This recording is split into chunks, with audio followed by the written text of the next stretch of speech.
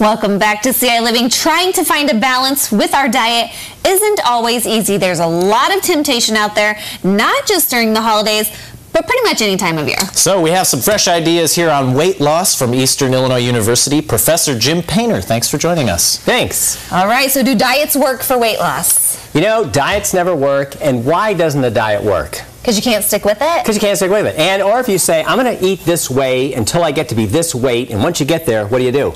You go back to your old habits. Go back to eating the way before. Isn't that stupid? Mm-hmm. And so the other thing is, is that people crave things. Say, I'm never going to eat chocolate again. What do you think about that night?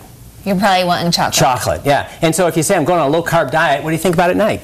Bread. Carbs. Yeah, and you wake up in the morning. Do you want sausage? I mean, I want do bread. every morning. But, But I- yeah, but also bread, sure. That's right. But if you're restricting it, you want it. And so restriction doesn't work. All right, so what about chocolate?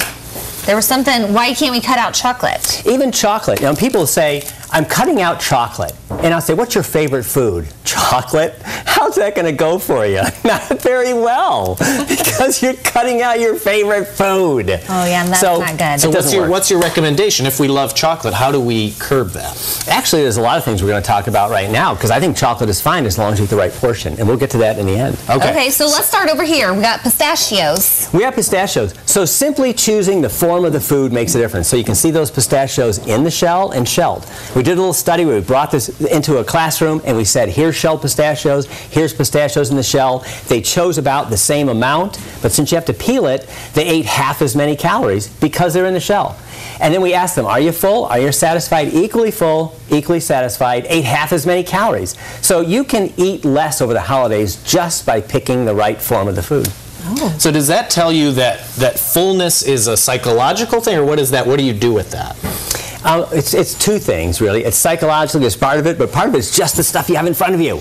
Yeah. I mean, and we'll get to that in a minute, too. The, just the size of the bar tells you how much to eat. So it's both. They compete sometimes. Yeah. Okay, so we've got a few different options here. What are what are these? So just choosing the form of the food, you can choose Jello, and this is the diet Jello with 10 calories. That's 100 calories. You can eat all that for 100 calories. That's a lot. That is. Or you can have a lot of popcorn. That's 100 calories of the popcorn. This is 100 calories with the uh, carrots, chips, and look at these M&Ms. Isn't that a sad little pathetic thing? It is. How could you could you even eat 100 calories of M&Ms? I mean, really, one it's one. swoop. I would do it, Yeah. but then they have to talk, and I, I can't do it. So yeah, so just choosing different kinds of foods. And is helps this you. 100 calories or no? This is a little less. Oh. This is actually a little bit less than 100 calories, Oh. about 70. Okay, so you can eat a lot of carrots. You can eat a lot of carrots. You can start munching on these when the movie starts, and you're still chewing, you know, by the time the movie ends, and you haven't eaten all the carrots. So it is important to choose what you have in front of you, and you can eat less just by having the right foods there. All right, seductive nutrition. What are we talking about there? So what we're talking about here is that when you look at something and say, I'm going to lose weight, I'm going to go on a diet, I'm restricting this, it doesn't work. So what works? To seduce people into eating right. And so my new area of research is seductive nutrition. Sounds very seductive. But what's seductive about it, I guess? So what's seductive about it is, in seduction usually you have this person who's moral, and you seduce them into immorality, and they do these immoral sexual things. Mm-hmm. So nutrition seduction is you have something, you make it better stealthily, you make it taste better, and at the same time then, people will eat more of it because they like it, and it's better for them. So you can kind of seduce people without knowing it into eating well. It's the same thing with losing weight. You can seduce people into eating less just by having the right form of the food. Just by having the right form of the food, by choosing things properly, without restricting, you can get people to change their diet stealthily. oh, stealthfully. so what are we talking about with these McDonald's cups here? So what we have here is that when you go out and you choose, you always have a chance to choose a size. And people say, I don't know what size to choose. How much do you weigh? 500 pounds. choose small. you know, just choose small. If you're going to grab this one, then grab this one. Because this one has over 800 calories, over 700 calories. This has about 550 calories. And so just by choosing a smaller, you'll finish the whole thing. You'll be just as happy. Choose small. And when you're at home, we've done a number of studies with plate size. We did it here at the University of Illinois with ice cream, and we had big plates, big scoops, big spoons, and we had small plates, small, small. And people would eat half as many calories by giving them a small plate, a small spoon, and a small bowl. Same thing with plates like this. You can fill up this plate and eat it and be happy. If you fill up this plate, you're getting twice as many calories. So one of the goals is is to have smaller bowls, plates, glasses, utensils, and you will eat less because it's smaller.